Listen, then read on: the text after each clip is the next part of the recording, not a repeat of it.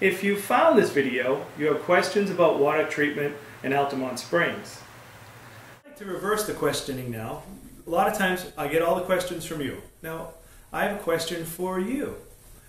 Two things. First question is when a water company comes to your house and they give you a scary price and they force you into purchasing that day, why do you do it?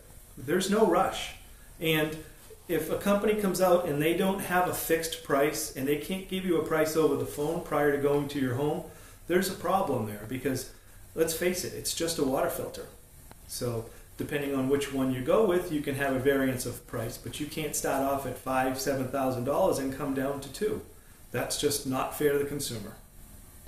Hi, I'm Steve with Filtration Direct.